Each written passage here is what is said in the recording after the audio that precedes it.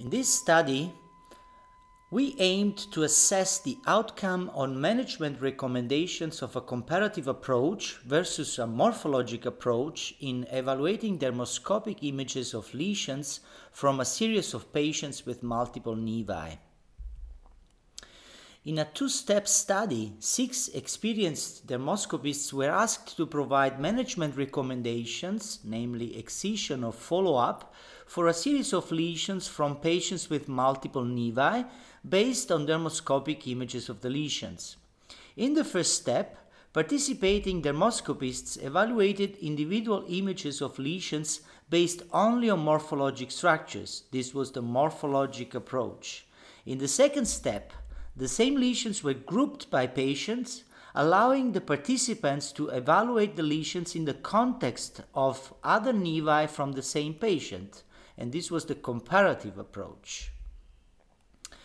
The results of the study outlined that using the morphologic approach, 55% of overall recommendations favored excision, Using the comparative approach, the rate decreased to 14%.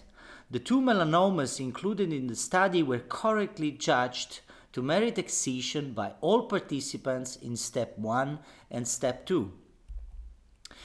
This is a 26 year old man with multiple nevi. None of the 11 lesions were excised at the baseline examination, and none showed substantial changes after two years follow-up. Using the morphologic approach, namely the single lesion approach, eight of these lesions, namely A, B, C, D, F, G, I, and K, were scored to be excised by the, at least four of six dermoscopists but only three lesions, namely E, H, and J, were scored for excision by two to three dermoscopists.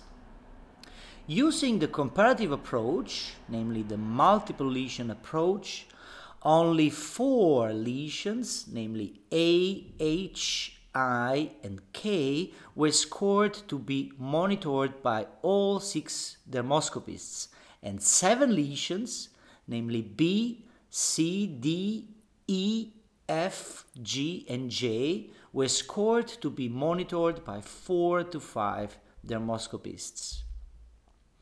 In conclusion, this study outlined that uh, among patients with multiple nevi, evaluation of equivocal lesions in the context of a patient's other nevi results in a lower rate of excision recommendations compared with evaluation of individual lesions based on morphologic structures alone.